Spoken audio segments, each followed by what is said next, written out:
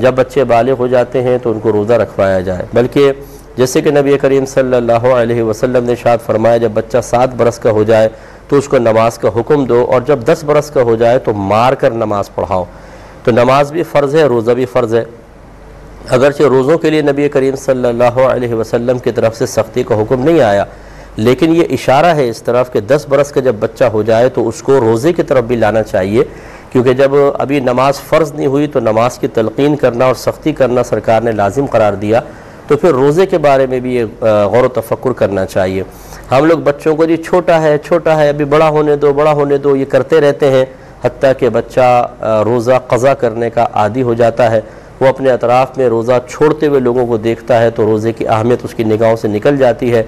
नतीजा निकलता है कि बाले हो जाने के बाद अगर उसे कोई अच्छी सहबत ना मिले तो फिर घर का ये मनफी माहौल उसके जहन पर और तबीयत पर एक मनफी असर मुरतब करता है और वो गुनाह कबीरा का मरतकब होता है। बाले हो जाने के बाद ही गुनाह कबीरा।